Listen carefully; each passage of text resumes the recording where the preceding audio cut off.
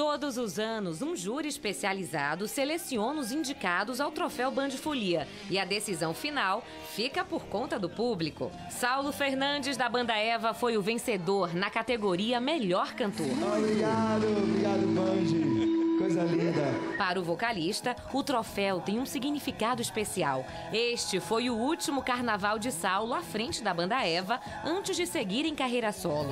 Nosso encontro foi tão bonito, só eu e você. Cláudia Leite desbancou musas como Ivete Sangalo e Daniela Mercury e foi eleita a melhor cantora do carnaval. Eu tô aqui na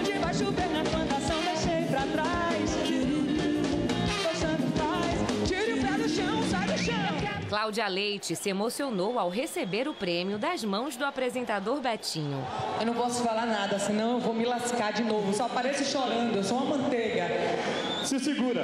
Ai, Deus. O troféu de melhor música do carnaval foi para uma das grandes revelações do verão baiano, o hit Ziriguidum da banda Os Filhos de Jorge. Mãozinha pro ar, balança o pescoço pra lá e pra cá.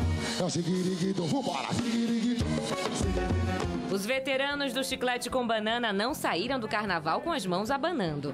Graças aos votos dos fiéis fãs chicleteiros, o Bloco Camaleão foi eleito o melhor de 2013. Galera do Camaleão,